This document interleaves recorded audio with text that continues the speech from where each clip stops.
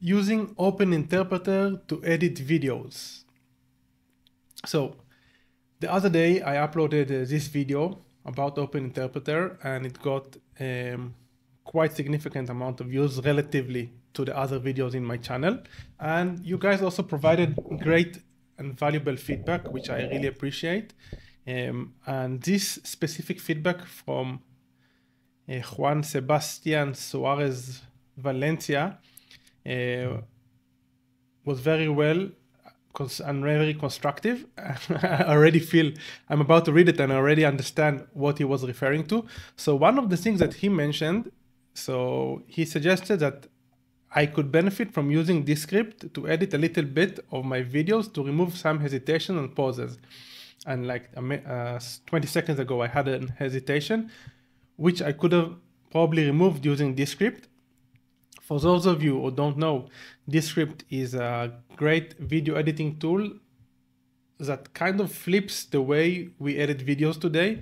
So instead of having like a timeline, let me show you, uh, in CapCut or any other tool, we have a timeline at the bottom and we can just edit the videos based on like the, the video segments, for example.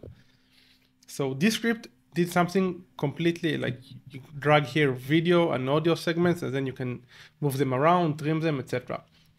Descript did something that is amazing and really flips or disrupts the way people use video editing. So first of all, whenever you upload uh, a video, it tran transcribes the whole video and then you edit the video as if you're editing a document. So basically you have a transcript of your video. It looks like a Word document. And if you want to remove segments, you just remove the text. So this is very cool. Um, but although I used it for my podcast, I wanted to test if I can automate this because still using Descript um, for editing takes a lot of time. I do have virtual assistants and editors that can assist me, but as you guys already know, I like automating stuff and I prefer being uh, as lean as possible, uh, relative, uh, literally, if possible, also with regards to weight and also with regards to, to team size. So what I did today and I wanted to share with you is how I use um, programmatic video editing in order to edit my videos. I'm not sure that I will make it uh, that I will use this editing from now on on all of my videos, but I just wanted to show you this use case because I think it's very valuable and many people are not aware of all the Python libraries that allow you to edit videos and allow you to edit audios. So this was a pretty long uh, introduction.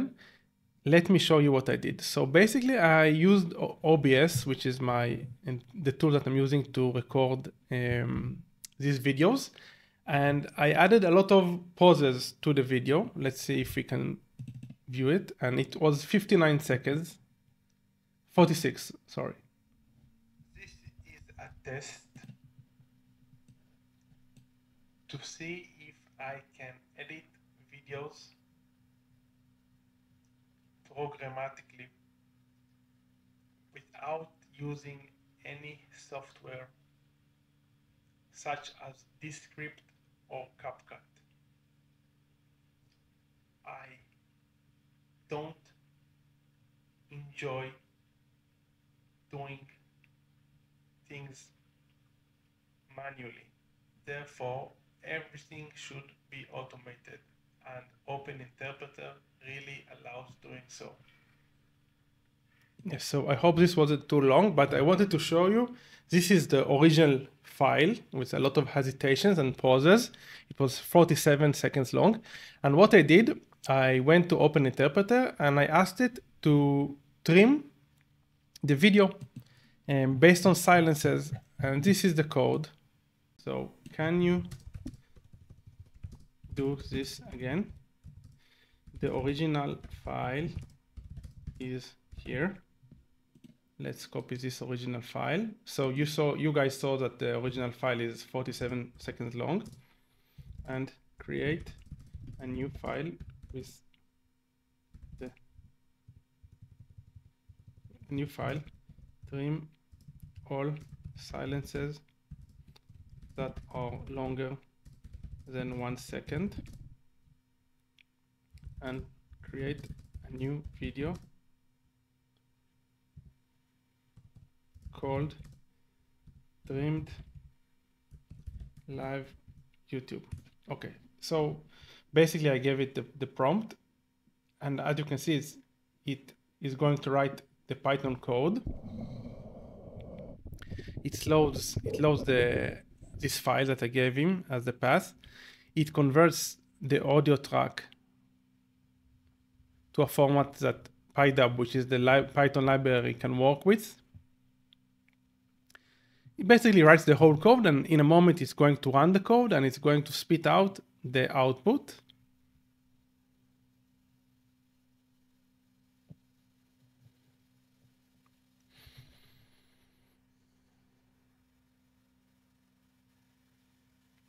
And imagine that obviously using Descript might make sense if you have only one video, but if you need to trim silences programmatically, let's say you have 20 Zoom meetings that you want to summarize, uh, or you want to re-edit, and there are parts of that are people um, went to the bathroom, so the conversation was paused, for example.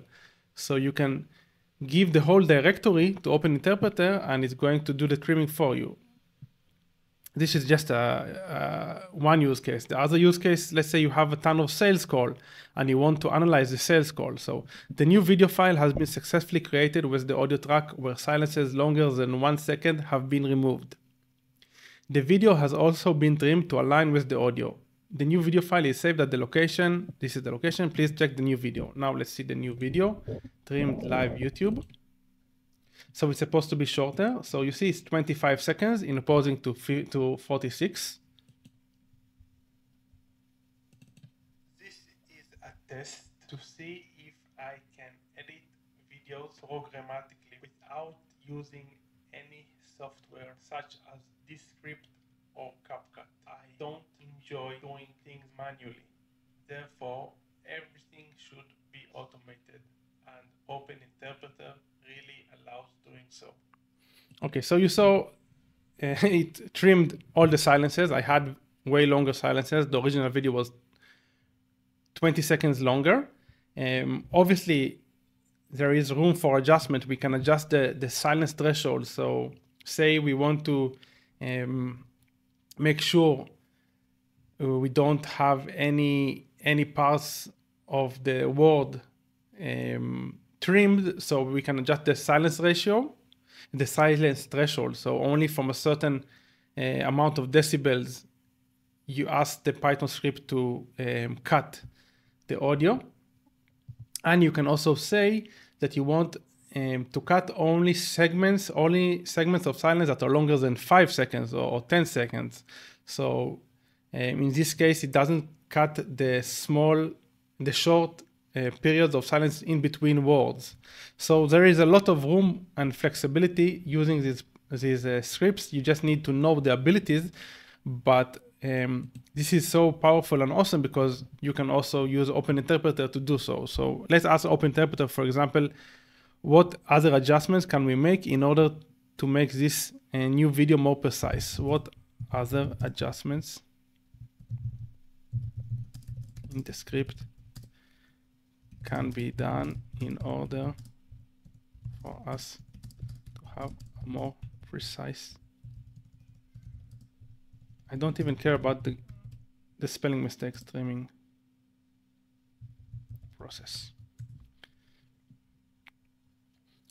There are several adjustments you can make to the, to the script to fine tune the trimming process. Silence threshold is the parameter in the silence uh, in the detect non-silence function determines what volume level is considered to be silence. You can adjust this value to be more or less sensitive to quiet sounds.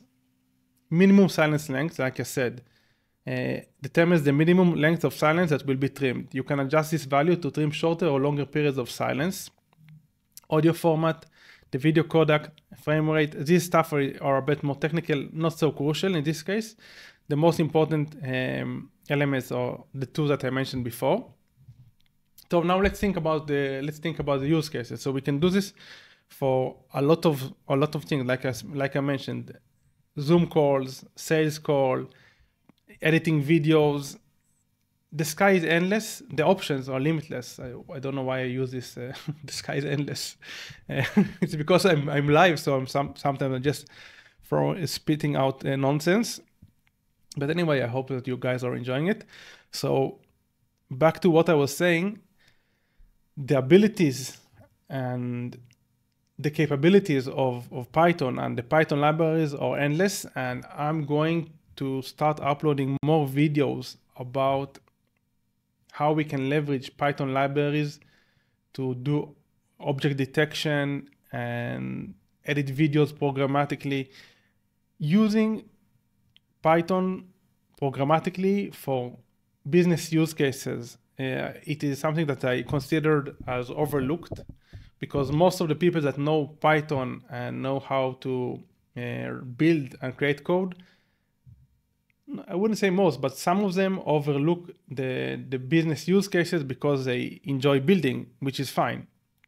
But for me, I'm coming from a background of, of, of, of selling and marketing, and I just want to use and leverage these automations in order to streamline my process, um, have less friction, waste less money on outsourcing, and waste less time on doing stuff that I don't enjoy. So this is like my goal and my motivation for using Open Interpreter and all the other agents and, and using code in general. I think that's it for today, guys. If you enjoyed the video, please like and obviously subscribe if you haven't subscribed yet. If you have any questions regarding what we covered today or any constructive feedback, I'm always happy to hear. Please leave them in the comment section. And until next time, keep on automating.